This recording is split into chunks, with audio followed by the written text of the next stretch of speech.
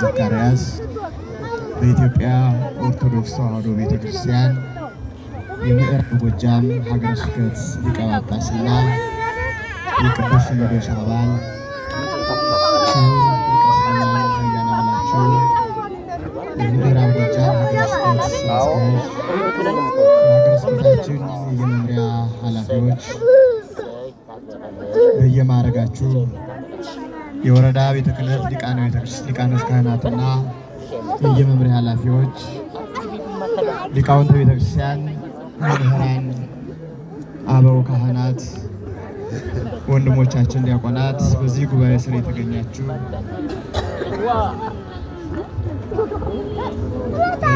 ክቡር ከተማችን ከንቲባ አቶ ሌዮ፣ በዚህ ጉባኤ ስር የተገኛችሁ አባቶች፣ እናቶች፣ ወንድሞች፣ እህቶች፣ ህፃናትን ጭምር በልዑል እግዚአብሔር ስም እንደምን አዳራችሁ?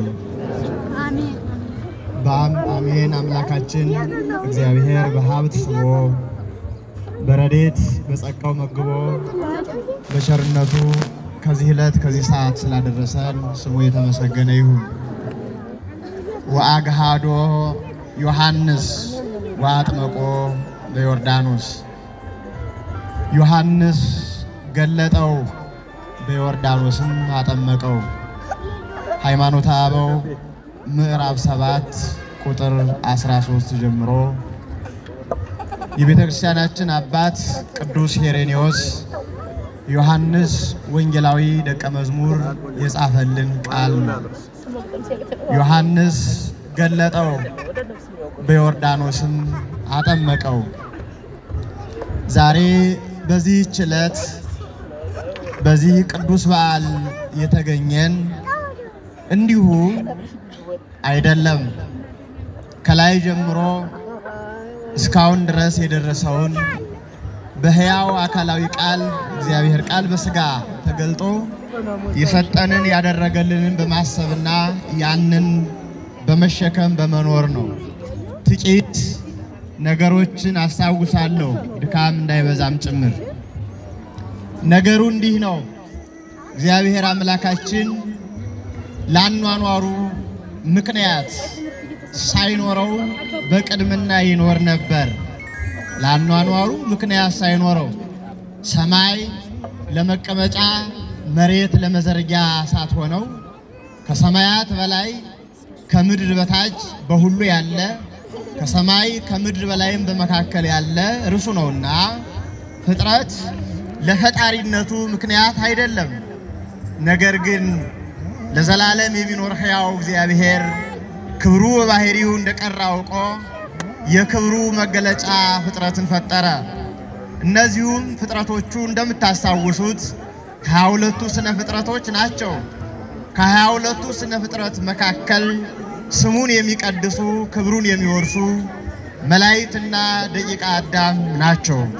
ዛሬም ማስታውሳችሁ ደቂቀ አዳምን ነው። ደቂቀ አዳም የአዳም ልጆች ማለት እግዚአብሔር በመልኩ በአርአያው ፈጥሮ በገነት እንዳኖራቸው ታስታውሳላችሁ። ይህን ዓለም እንደ ግዛት ገነትን እንደ ቤተ መንግስት አድርገው እንዲኖሩ ነበር። እናም በዚህ መሰረት እግዚአብሔር እንዲመስሉት አድርጎ ፈጥሯቸዋል። እንዲመስሉት ማለት እግዚአብሔር ቅዱስ ነው፣ ቅዱሳን እንዲሆኑ፣ እግዚአብሔር ንጹሕ ነው፣ ንጹሐን እንዲሆኑ፣ እግዚአብሔር ሕያው ነው፣ ለዘላለም በሕይወት እንዲኖሩ፣ እግዚአብሔር ቸር ነው፣ ቸር እንዲሆኑ ባጭሩ በባህሪ ፈቃድ ግብር መገለጫዎች ሁሉ እንዲገለጡ እንዲመስሉትና በጸጋ እንዲዋሃዱት ነበር የፈጠራቸው። ከዚህ ተለይተው ሕጉን አፍርሰው ከርሱ ተጣልተው ዕፀ በለስን በልተው ከገነት ተባረው ወጡ። ጥምቀት መነሻዋ ከዚህ ነው። የጥምቀት መሰረቱ ልጅነትን ማጣት ነው። አዳምነት ማዕከላዊነት ነው። ማዕከላዊነት ማለት ባጭሩ ሲገለጥ ቢበላም እማያጠግበው ባይበላም እማይርበው ለመብላትም ላለመብላትም ቅርብ የሆነ ነፃ ፈቃድ የነበረው ነበረ። ነገር ግን ነፃ ፈቃዱን ወደ ወደደው ሰደደና ሞትን መረጠ። ከዚህም የተነሳ ከገነት ተባሮ ወደዚህች የፍዳ ዓለም ተወረወረ። ስለዚህ ሾህ በሾህ ይነቀሳል፣ ነገር በነገር ይመለሳል። በፈታይነቱ አንጻር መሐሪነቱን አስቦ መርምሮ ንስሐ ቢገባ ቃል ሥጋ ይሆንለት ዘንድ ኪዳን ሰጠው። ያ ኪዳን ሰው ሆኖ በዮርዳኖስ ተጠምቆ ነው እንግዲህ ዛሬ ይህንን ኪዳን እያየን እያደነቅን የምንኖረው ማለት ነው። ያን ጊዜም ነገሮቹን ገባ አድርጎ ነግሯቸዋል። አዳም ያ ኪዳን ሰው ይሆንለት ዘንድ ያለው ዕፀ በለስን በእግራቸው ተጉዘው ቆርጠዋልና እግሩ ሊቸነከር፣ በእጃቸው ቆርጠዋልና እጁን ሊቸነከር፣ በአፋቸው በልተዋልና መራራ ሞትን ሊጠጣ፣ በዓይናቸው የበለስን ቅጠል ጎምጅተው አይተዋልና የአይሁድን ግርማ እያየ ሊገለጽ ወደዚህ ዓለም መጥቷል። በኋላ ይህች ዓለም ለግዛት ትሆን የነበረችው መኖሪያ ሆነች። ሾሃሜ ከላይ ይብቀልብህ አለው። መሬት ኃይሏን ነሳችሁ፣ ሾሃ በቀለችበት። ከውስጡም አምጣ አምጣ የሚል የውስጥ አራዊት የውስጥ በቀለበት። ተቸገረ። ቢቸግረው የምድር አትክልትን እየቆረጠ የአራዊት ማስታገሻ ከውስጡ ያለውን አውሬ የሚያስታግስበት እየበላ እየጠጣ ሲርበው ማስታገሻ እየተመገበ መኖር ጀመረ። መሬት ከሰማይ በታች ከምድር በላይ ያለው ሁሉ ያንተ ነው ብሎት ነበረ። አሁን ኃይሏን ነሳችሁ። ታብቅልልህ ያለችው ስንኳን ልታበቅልለት ሾህ በቀለችበት። ቢቸግረው ዘር በተነ፣ ዘሩን ወፍ ለቀመበት። ቢቸግረው እያረሰ መቅበር ጀመረ። በእንዲህ አይነት ኑሮ ጉዞ ተጀመረ። እንዲህ እየቀጠለ ይሄዳል። ነገር ግን እግዚአብሔር ቸር ነው እንዳልኋችሁ ተስፋ ሰጠው። ዓለም ሚድነው እኔ ከባህሪ ከባህሪ ከስጋ ስጋ ከነፍስ ነፍስ ነስቼ ባንተ መጠን ተገልጨ ዓለሙን አድንሃል አድንልሃለሁ ብሎ ተስፋ ነገረው። ከዚህ በኋላ ያንን ተስፋ ይዘው አዳም ሔዋን ሁለቱ መቶ ዓመት በሐዘን በልቅሶ ኖሩ። በመቶ ዓመት የእግዚአብሔር መልአክ መጣ። ዓለም በተፈጠረ ዘመን በተቆጠረ በአንድ መቶ ዓመት ወይም በሁለት ኢዮቤልዩ የእግዚአብሔር መልአክ ቅዱስ ገብርኤል መጥቶ አዳም ወይ አዳም ወይ እግዚአብሔር ያለህ ከልጅ ልጅ ተወልጄ አድንሃለሁ ነው ያለህ። እነሆ ልጅ የለህም አለው። ልጅ ወለዱ። እነ ቃየል እነ አቤል እነ አቅሌማ እነ ሉድ ተወለዱ። ሰላሳ ዓመት ሞላቸው። ዓለም በተፈጠረ ዘመን በተቆጠረ በአንድ መቶ ሰላሳ ዓመት ዓለም ሞት ወደዚህ ዓለም ገባ። ቃየል አቤልን ገደለው። እንደገና ሐዘን ጀመሩ። አሁንም ሁለት ኢዮቤልዩ መቶ ዓመት ዓለም በተፈጠረ ዘመን በተቆጠረ በሁለት መቶ ሰላሳ ዓመት ዓለም ሴት ተወለደ። ከዚህ በኋላ እግዚአብሔር ቸር ነው፣ እየመገበ እየረዳ በረዴቱ የሰውን ልጅ ይመራው ነበር። ይሄም ሴት ሄኖስን፣ ሄኖስ ቃይናንን፣ ቃይናን መላልኤልን፣ መላልኤል ያሬድን፣ ያሬድ ሄኖክን ወለደ። ሄኖክ ለሰው ልጆች መጽሐፍ ጻፈ። ሄኖክ ማቱሳላን፣ ማቱሳላ ላሜህን፣ ላሜህ ኖህን ወለደ። ለኖህ ስድስት መቶ ዓመት ሆነው ዓለም በተፈጠረ ዘመን በተቆጠረ በ2256 ዓመተ ዓለም ዓለም በንፍር ውሃ ጠፋች። ስምንት ሰው ቀረ። አሁንም ቀጠለ። ሴም፣ ካም፣ ያፌት በዚህች ዓለም ተበተኑ። ሴም አርፋስክድን፣ አርፋስክድ ቃይንን፣ ቃይን ሳላን፣ ሳላ የወርን ወለደ። የወር ፋሌቅን ወለደ። ዓለም በተፈጠረ ዘመን በተቆጠረ በ2780 ዓመተ ዓለም ሕንፃ ሰናወር ፈረሰ።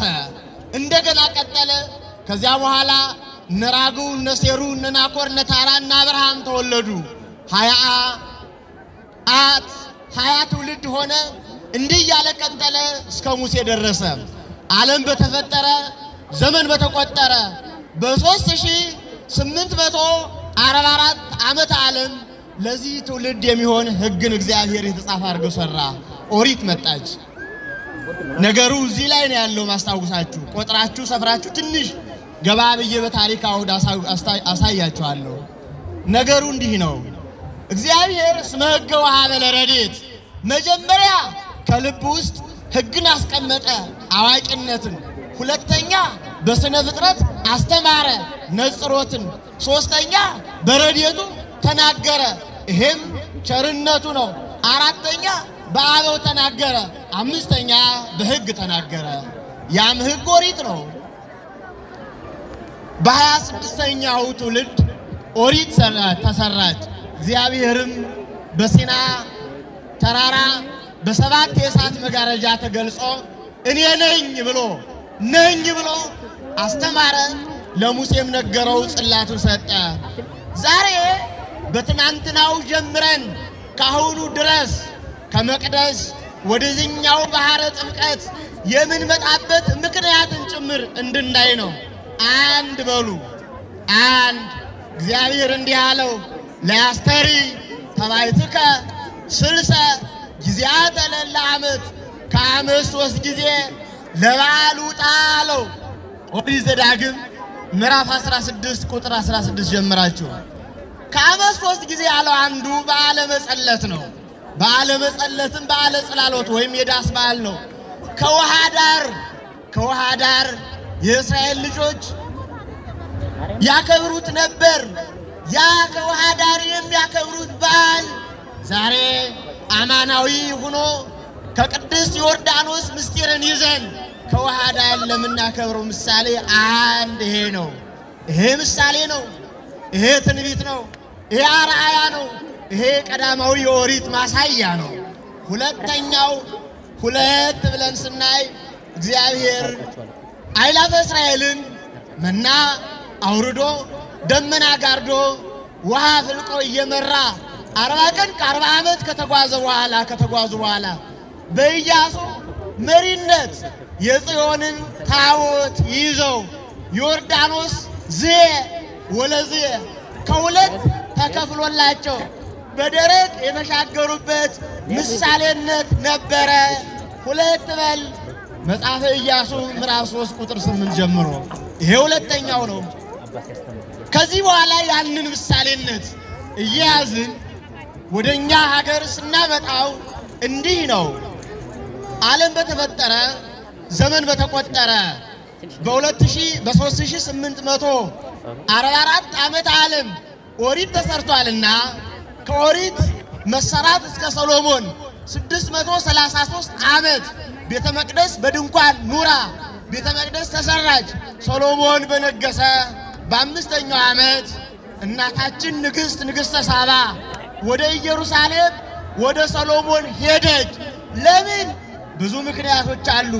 ዋናው ምክንያት አንዱ ቤተ መቅደስን ሰርቷልና ለበዓል፣ ሁለተኛው የወረደ የተወለደ አምላክ ሰው የሆነ ስለመሰላት ያንን የሥጋዌ ትምህርት ለማክበር ነበረ። ይህም ባለቤቱ ነግረናል። ንግሥት አዜብ ትትነሳ አመለተ ደይን በፍርድ ቀን የአዜብ ንግሥት ትነሳለች፣ በዚህ ትውልድም ትፈርዳለች። እስመ መጽአት እማጽናፈ ምድር ከመ ትስብሐ ጥበቢሁ ለሰሎሞን የሰሎሞንን ጥበብ ልትሰማ ከምድር ዳርቻ መጥታለች።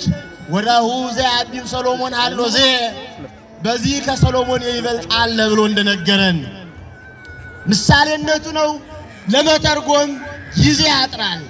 ከዚህ በኋላ ንግሥተ ሳባ ከተመለሰች ከሀያ ሁለት ዓመት በኋላ ቀዳማዊ ምኒልክ ወይም እብነ መለክ ወደ ኢየሩሳሌም ሂዶ እነ ካህኑ አዛርያስ እነ ሳዶቅ በነበሩበት ታቦተ ጽዮንን ይዞ ወደ ሀገራችን ኢትዮጵያ መጣ።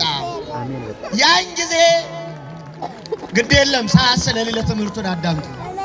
ያን ጊዜ በሐማሴን ምድር ወይም የዛሬዋ ደብረ ሲያት ወይም ደብረ ሲና ከምትባለዋ ከቅድስት እመቤታችን ገዳም አሁን ካለችበት የአሁኗ ኤርትራ ከዚያ ደርሰው ነገሩት። በማይበል አድርገው አክሱም ገቡ። ከአክሱም ከባህር መካከል የጽዮን ድንኳን ተክለው ማየ ውሃ እየረጩ መሥዋዕት እየሰዉ ያከበሩት ነውና ሁለት በል። ይሄ ታሪካችን ነው። ሶስተኛው ማለቴ ነው።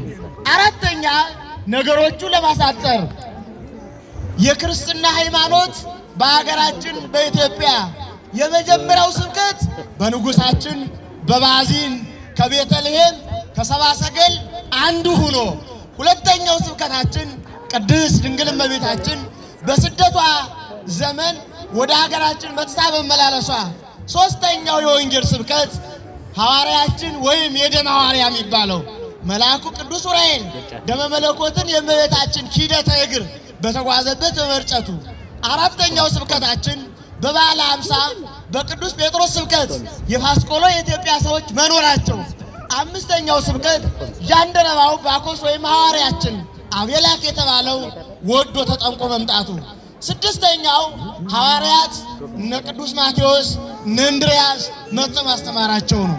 በዚህ በደረጃ ሰባተኛው የቅዱስ ማርቆስ ሀገረ ስብከት ናት መነሻዋ።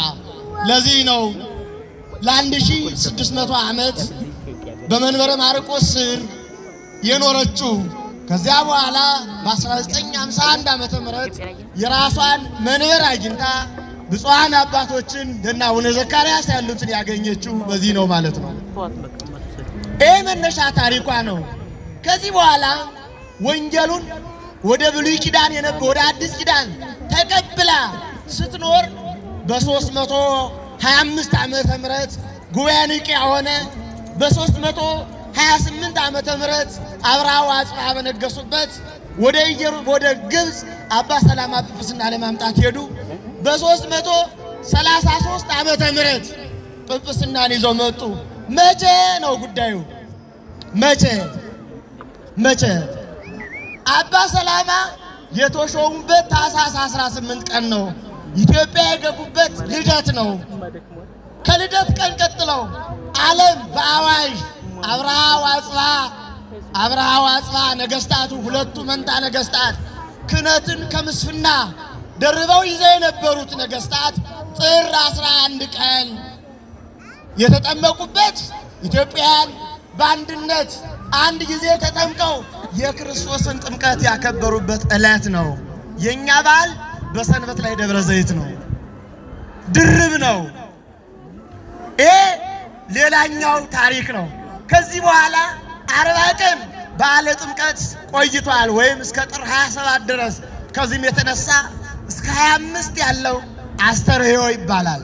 አንዱ አስተርእዮ የልደቱ የግዝረቱ የጥምቀቱ አስተርእዮ ሲሆን ሌላኛው አስተርእዮ ግን ኢትዮጵያ እጆቿን ወደ እግዚአብሔር ትዘረጋለች ብሏታልና በጥምቀት የታየችበት ታሪክ ነው ማለት ነው።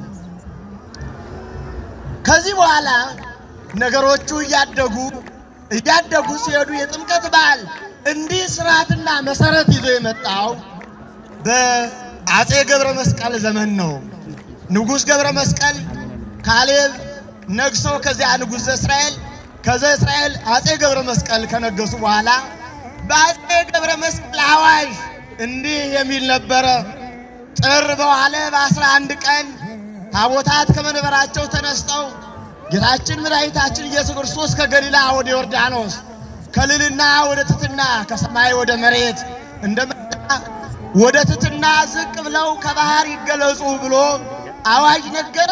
ሊቃውንቱ እጨጌዎቹ አባቶች በሙሉ በዚህ አዋጅ መሰረት ልበሉ በአፄ ገብረ መስቀል ጊዜ ታቦቱ በጥር 11 ቀን ጠዋት ወጥቶ ከባህር ደርሶ ጸሎት ተደርጎ ጸበል ተረጭቶ ተመልሶ ዕለቱን እንዲገባ አዋጅ ነገረ።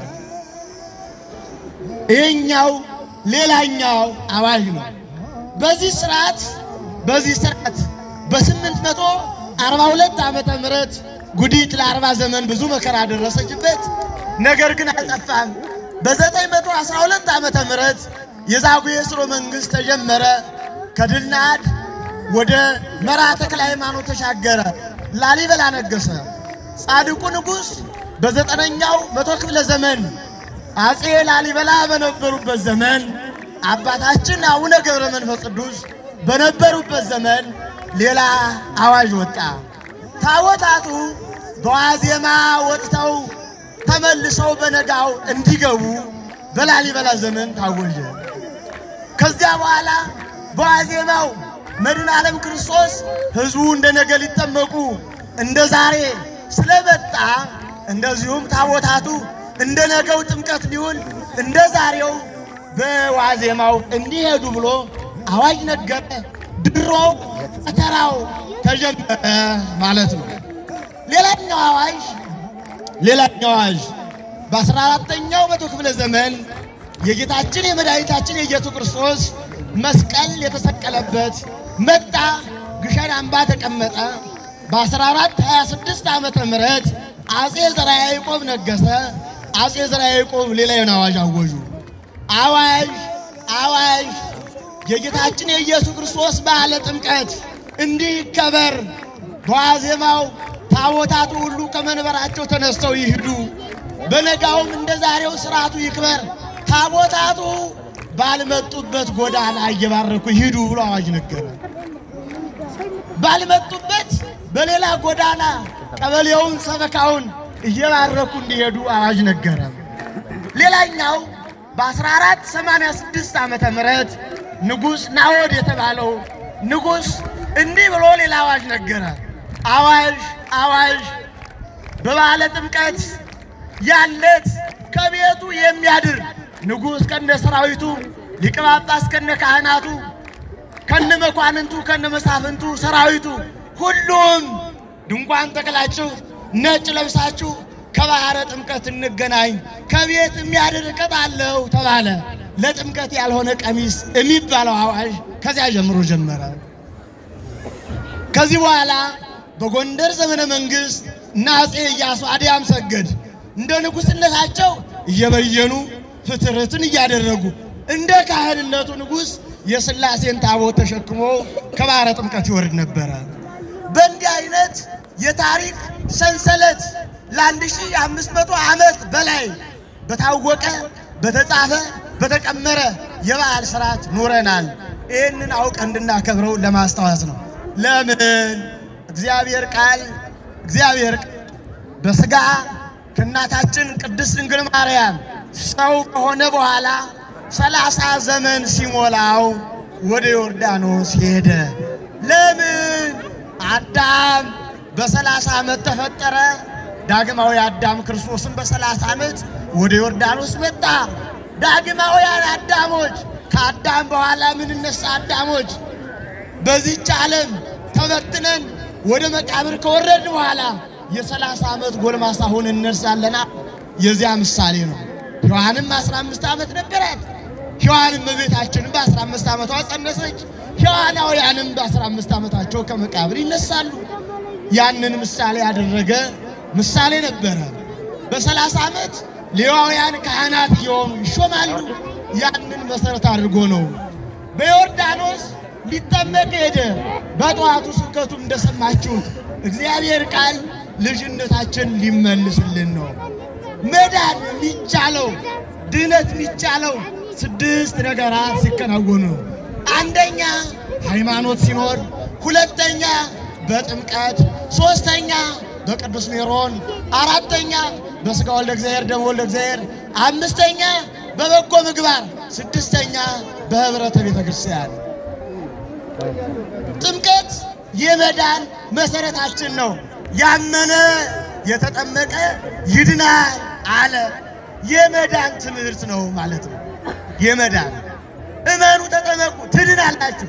ዳናችሁ ግን አይልም፣ ሂደታዊ ስለሆነ መዳን ሂደታዊ እንጂ ቅጽበታዊ አይደለም። ህብረታዊ እንጂ ግላዊ አይደለም። ያንን ሊያስተምረን ነው። በሌላም መልኩ ዕለተ ጥምቀት አንድነት፣ ሶስትነት፣ ምስጢረ ሰማይ ወምድር የተገለጸበት ዕለት ስለሆነ ከሦስቱ አካላት አንዱ አካል ወልድን በሥጋ እንዳየነው መንፈስ ቅዱስንም ተነዋል በአምሳለ ርግብ አብንም አይተነዋል። የምወደው ልጄ ይሄ ነው ሲል ይሄ ነው ዘሎቱ ሰመርኩ የወደድሁት ለተዋህዶ ለመሥዋዕትነት የሚመርጠው ልጄ እርሱ ነው እርሱን ስሙት ብሎ ሰምተነዋል። መንፈስ ቅዱስ የሦስቱንም አኗኗር ገልጿል። ረቦ ወረደ አብ ምሉ በኩለሄ ነው፣ አንተም ምሉ በኩለሄ ነህ፣ እኔም በሁሉ የሞላሁ ነኝ ሲል ቆንጠጥ አድርጎ የያዘው አብ ዓለሙን የያዘ ነው፣ አንተም አዚ ዓለም ነህ፣ እኔም ዓለሙን የያዙ ነኝ ሲል አሰይሞ ወረደ አብ ብሎ የማይል ነው፣ አንተም ብሎ የማይል ነህ፣ እኔም ብሎ የማይል ነኝ ሲል እንዲህ የተገለጸበት ምስጢር ስለሆነ ነው። ምናልባት እንዳልደናገር አንድ ሀሳብ ብቻ ተናግሬ ልጨርስ፣ ብዙ ስለሆነ። አብ በደመና ምን አለ? ምን አለ? ዝንቱ ውእቱ ወልዴ ልጄ እርሱ ነው አለ። በዚህ አደር አላለም፣ እርሱ ነው አለ። እንደ መለኮቱ እንዳንል አመለኮት አይጠመቅም፣ እንደ ሰውነቱ እንዳንል የአብ ልጁ አይሆንም። አዋህዶ ነው የምወደው ልጄ ይሄ ነው ያለው። አዋህዶ ትንሽ ገባ ብዬ ላሳያችሁ። አምላክ እንደመሆኑ በድንግልና የተጸነሰ ሰው እንደመሆኑ የለጽንስ የሆነ ሰው እንደመሆኑ በማኅፀን የተወሰነ አምላክ እንደመሆኑ ዓለምን የያዘ ሰው እንደመሆኑ የተወለደ አምላክ እንደመሆኑ ድንግልናን ያለወጠ ሰው እንደመሆኑ በበረት የተጣለ አምላክ እንደሆኑ ሰብአ ሰገል የገበሩለት መላእክት ያመሰገኑት ሰው እንደሆኑ በረደኝ አለ። አምላክ እንደመሆኑ እሳታውያን መላእክትን የፈጠረ አይደለም እንዴ? እንዲህ ይቀጥል ነው። ሰው እንደመሆኑ ከድንግል ጡትን ጠባ። አምላክ እንደመሆኑ ዓለሙን መገበ። ሰው እንደመሆኑ ድንግል አቀፈችው። አምላክ እንደመሆኑ ዓለምን በመሃል እጁ ያዘ። ሰው እንደመሆኑ ራበኝ አለ። አምላክ እንደመሆኑ የሕይወት እንጀራ ነኝ አለ። ሰው እንደመሆኑ ጠማኝ አለ። አምላክ እንደመሆኑ የሕይወት ውሃ ነኝ አለ። ሰው እንደመሆኑ ደከመኝ አለ። አምላክ እንደመሆኑ ድኩማንን አበረታ። ሰው እንደመሆኑ አልዓዛር የተቀበረ አለ። አምላክ እንደመሆኑ ከመቃብሩ ጣለ። ሰው እንደመሆኑ አባቴ ይበልጠኛል አለ። አምላክ እንደመሆኑ እኔና አብ አንድ ነን አለ። ሰው እንደመሆኑ እሞታለሁ አለ። አምላክ እንደመሆኑ ነፍሴን ማንም አይወስዳትም አለ። አዋህዶ የምወደው ልጄ ይሄ ነው የአብ ልጁ አብ እንደዚህ ዓለም አባት እንደዚህ ዓለም እናት ከአባቱ አብራክ ከእናቱ ማኅፀን የተከፈለ ልጅ ማለት አይደለም። ይህንን ጥያቄ ሰጥቻችሁ ልጨርሰው። ልበሉ አብ አካል ዘም አካል ባህሪ ዘም ባህሪ የወለደው ልጁ ነው። ይወልደዋል፣ አይቀድመውም። ይወለዳል፣ አያንስም። ይወልደዋል፣ አይበልጠውም። ይወለዳል፣ አያንስም። ምን አይነት ልጅ? ልደቱ እንዲህ ነው። ቅዱስ ቴዎዶጦስ ዘእንቆራ ወየንተ ልብ ዘዜ ነአምሮ ለአብ ከመ ልቡ ቃል ዘዜ ነአምሮ ለወልድ ከመ ቃሉ በዚህ ያለው ልብ ቃልን ወልድ አብን ባለን ቃል ቃል ወልድን በሕይወት እስትንፋሳችን መንፈስ ቅዱስን መስለን እናገራለን። አንድ ጥያቄ ሰጣችኋለሁ፣ ትመልሳላችሁ እናንተ በዚህ ዓለም እየሰማችሁኝ ነው? እየሰማችሁኝ ነው? ከማሰብና ከመናገር ማን ይቀድማል? አልተሰማኝም። አቤት አልተሰማኝም። ቃል ያልሆነ ሀሳብ እስኪያስቡ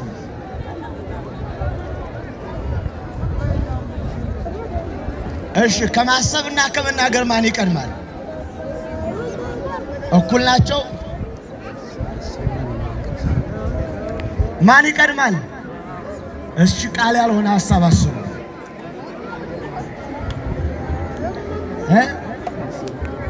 አሁን ዕለት ዕለት ቃል እንወልዳለን። ሀሳብ ሳናደርግ ቃል ብቻውን ይወለዳል? አይወለድም። ሀሳብ ብቻውን ያለ ቃል፣ ቃል ብቻውን ያለ ሀሳብ ከልብ ውስጥ ይኖራል? አብ ወልድን ማወለደው ማለት ልባችን ቃል ሲወልድ ሳይቀደም ሳይቀድም ሳይበልጥ ሳይለይ ቃል እንደሚወልደው አይነት ነው። ሌላ ምሳሌ ልንገራችሁ። አሁን ሁላችሁ አይናችሁን ግለጡ። አንዴ ወደ ባህረ ዮርዳኖስ ተመልከቱ፣ ወደ ጸበሉ ግን እያያችሁ አትዩ። አይናችሁ ፓዋሩን ሰውሩት፣ አይናችሁን ግለጡ ብላችሁ ትችላላችሁ? ያልኋችሁ ግልጽ ነው። እያያችሁ የአይናችሁን power ወደ ውስጥ አስገቡት፣ ግን እዩ። እያያችሁ አለማየት ይቻላል? አይን ያለ ብርሃን ቢገልጡት ያያል? አያይም። አብ ያለ ወልድ፣ ወልድ ያለ አብም አልኖረም።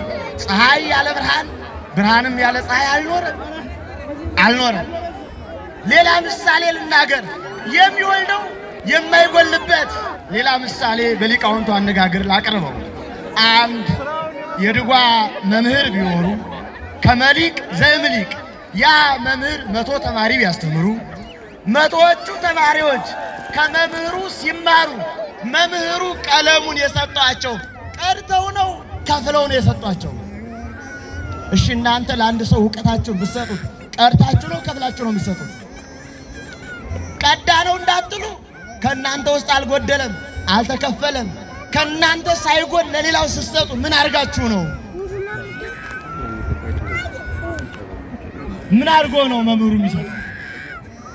እሺ ተውት። ይሄንን አንዱ የድጓ መምህር መቶ መምህራንን አስተማሩ። መቶዎቹ ሁሉ ሊቅ ሆኑ። ሊቅነት ስንት ናት? አንድ ከማን የመጣች? ከአንዱ መምህር። ልበሉ ሊቁ በአይምሮ በሐሳብ በሊቅነት ሊቁን እንደሚወልደው አብ ወልድን ወለደው ማለት ሊቅነት ከሊቅ አይምሮ እንደ ብትወለደው ሳትለይ ነው። ገብቷቸዋል? አላደናግራችሁ። በእንዲህ አይነት ምስጢር ከሦስቱ አካላት አንዱ ቃል እግዚአብሔር ቃል ወደዚህ ዓለም መጥቶ ተወልዶ በሥጋ ተዋህዶ አዳነ። ተዋህዶ የምትለዋን በአጭር ምሳሌ ከሦስቱ አካላት አንዱ አካል ሰው ሆኗልና ላስታውሳችሁ። ይህንን በምታውቁትና በምትረዱት ቄርሎሳዊ ምሳሌ ላስታውሳችሁ። አሁን በዚህ ዓለም ቆይ ግልጽ የሆነ ሐሳብ እነ ቅዱስ ጊዮርጊስ እነ ቅዱስ መርቆሪዎስ እነ ቅዱስ ቂርቆስ ሌሎችም ሰማዕታት አላውያን ነገሥታት አላውያን መኳንንት ሲገርፋቸው ሲቆርጧቸው መከራ ሲያሳዩቸው ይቆረጥ ይፈለጥ የነበረው ስጋቸው ነው ወይስ ነፍሳቸው ነው? ምናቸው ነው የሚቆረጠው? አልተሰማኝም። ስጋቸው ሲቆርጧቸው ሲፈልጧቸው ያማቸው ነበር አልነበረም? ያማቸዋል፣ ምንም ጥርጥር የለውም። የሚያማቸው ስጋቸውን ነው ወይስ ነፍሳቸውን ነው? አልተሰማኝም። አቤት ስጋቸውን ነው ወይስ ነፍሳቸውን ነው? ነፍሳቸውን እንዳንል የዚህ ዓለም ቢላዋ ሕማም ስለት ነፍስን ያማታል ያማታል እንዴ? አያማትም። ስጋችሁን እንጂ ነፍሳችሁን መግደል የማይችሉትን አትብሉ ተብለን የለም እንዴ? አያማትም። ታዲያ የተቆረጠ የተፈለጠው ስጋቸው ከሆነ የሚያማቸው ምናቸውን ነው? ስጋቸውን ከሆነ ነፍስ የተለየውን ስጋ ቢቆርጡት ቢገርፉት ያመዋል አያመው? ለምን ለምን? ነፍስን ስለተለየው ነፍስን ያማታል እንዴ? ጥያቄ ገብቷቸዋል? ገብቷቸዋል? ልብ በሉ። አሁን ሰው ስንት ነው? አንድ የነፍስ የስጋ የሚባል ቦታ የለም። ለምሳሌ ሌላ ጥያቄ፣ አንድ ሰው በስጋው ይሰስናል እንበል። የሚሰስነው በነፍሱ ነው በስጋው ነው? በስጋው። ስጋ በበደለ ነፍስ ዘማዊ ተብላ ለምን ሲኦል ትወርዳለች? ምን አገባት? ሰው የበደለ በስንት ነው? አዋህዶ ነው። ተዋህዶ ማለት እንደ ነፍስና እንደ ስጋ እንደ ዓይንና እንደ ብርሃን እንደ ቃልና እንደ ጆሮ በጣም ብዙ ነው። እንደ እሳትና እንደ ብረት ወይንካ ዘኮነ ዲበላው የልዑል እግዚአብሔር ቃል ከመሶበ ይትወደድ ሐፂኑ ሰላም እሳት በልዑል እግዚአብሔር ቃል ላይ ስለሆነው ልንክድ አይገባም። እሳት ከብረት ብረት ከእሳት አንድ ሆን እንዲግል መለኮት ከስጋ ስጋ ከመለኮት በተዋህዶ አንድ ብለን እንገልጣለን። ዮሐንስ ገለጠው፣ በዮርዳኖስ አጠመቀው። እነሆ የእግዚአብሔር በግ ብሎ ገለጠው። ነዋ በግ ብሎ ደግሞ አንተ ካህኑ ለዓለም በከመ ብሎ አጠመቀው። ይቆየን። አበዛሁም